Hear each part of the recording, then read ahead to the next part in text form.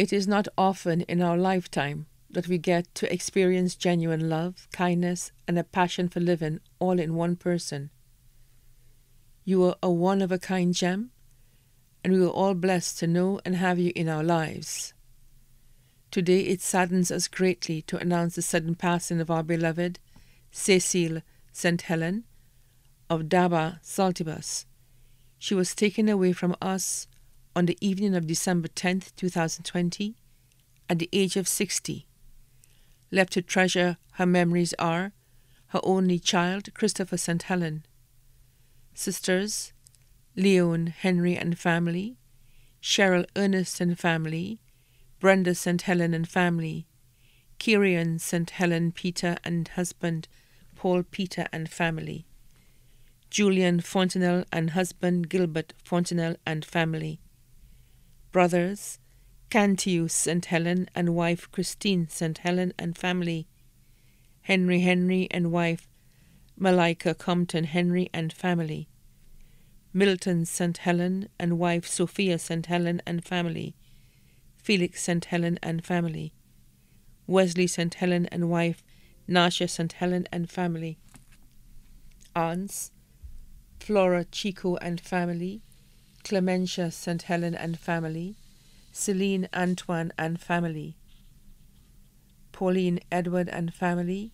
Angelique Glasgow and family, Uncle Guillaume Henry, better known as Guillou, and family. 15 nieces, including Asha Henry Antoine, Shireen Henry Stava, Mitzi Ernest. 14 nephews, including Randy Henry, Willard Ernest, Theory Euphamond,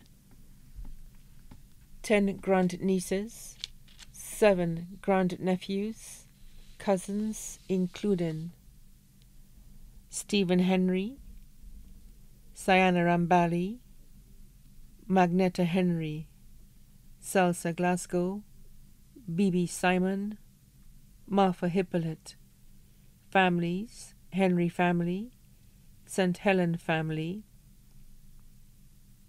Monero family, Hippolyte family, Glasgow family, Antoine family, Augustine family, children of her deceased aunts and uncles, friends and associates, Sandra Stephen, Antonia Augustine, the community of Daba, Saltibus, and environs, Steve and the beekeepers of Choiseul, the Southern Hearing Impaired and Differently Abled Community, the administrator and participants of Camp Lajon.